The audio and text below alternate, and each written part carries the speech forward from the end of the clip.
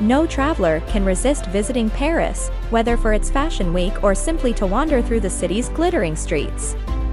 Although Eiffel Tower is the first one that comes to mind, there are many other beautiful places you can explore in Paris to make your trip an unforgettable experience.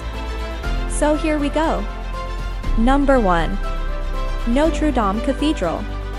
The Roman Catholic Church Notre Dame de Paris is located on the eastern part of the Ile de la Cité, and is one of the most lasting emblems of Paris. It is widely regarded as one of France's and Europe's greatest examples of French Gothic architecture. With its entrances surrounded by his numerous sculptures and gargoyles that grace the ceiling is a marvel to behold. Take a tour of the cathedral before entering and climbing the 387 steps to the summit of the towers. The journey to the top of the towers is strenuous, but it rewards you with a panoramic view of the region and close-up views of the iconic gargoyles. Number 2. Louvre Museum. The Louvre is the world's most visited art museum. This ancient edifice and a former royal palace is located in the center of Paris and has a total area of 210,000 square meters, including 60,600 square meters for exhibitions. The museum is situated in the Louvre, which was once a fortification erected by Philip II in the late 12th century. The remnants of the stronghold may be seen in the museum's basement. Number 3. Champs-Élysées or Arc of Triumph.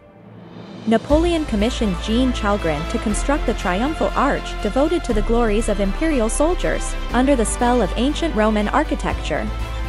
It is the world's biggest monument of its sort, having been built in the 19th century. Its pillars are adorned with stunning sculptures, the names of 558 generals, as well as major triumphs, are inscribed on the Arc's summit. The tomb of the unknown soldier of France is located beneath the Arc de Triomphe. A wonderful view of Paris may be had from the panoramic terrace over the entrance. Number 4. Cruise on the Seine. Discover the greatest way to see the City of Light by taking a Seine boat, especially at night the monuments are gradually illuminated as the sun sets. You receive a front row seat to the magnificence of Paris, including the Eiffel Tower, Notre Dame, Pont Alexander III, and many more. A dinner cruise on the Seine aboard a boat is also an option.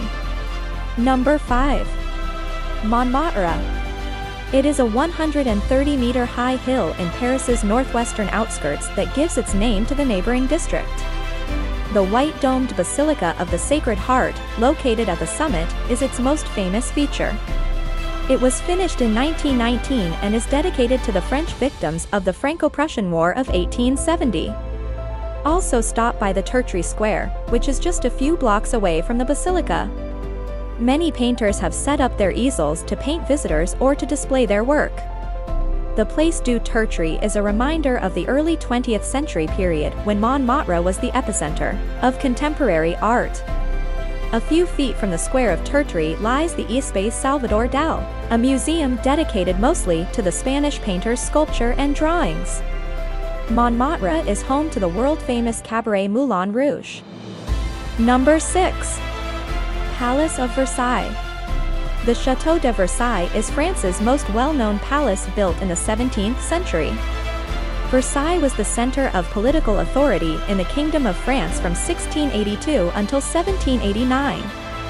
It was built in the 17th century as a symbol of French military prowess and a show of French supremacy in Europe. This massive complex of buildings, gardens, and terraces is a must-see for every tourist who will be enchanted by the luxurious lodgings, opulent furnishings, furniture, and gilded Renaissance pieces of art. Number 7. The Latin Quarter Luxembourg Park. The Latin Quarter of Paris is located on the left side of the Seine around the Sorbonne. The Latin Quarter is home to various higher education institutions, including the École Normale Supérieure, the École des Mines de Paris, and the École Polytechnique. It is known for its student life, vibrant ambience, and bistros. The Latin language, which was previously widely used at and around the university since Latin was the international language of study, in the Middle Ages, inspired the area's name. The Luxembourg Park is a public garden that was established in 1612 at Marie de Medici's request, to complement the Luxembourg Palace. It is lovingly referred to as the Luco by Parisians. There are 106 statues, including a bronze replica of the Statue of Liberty, as well as three lovely fountains. Hope you liked the video. See you soon!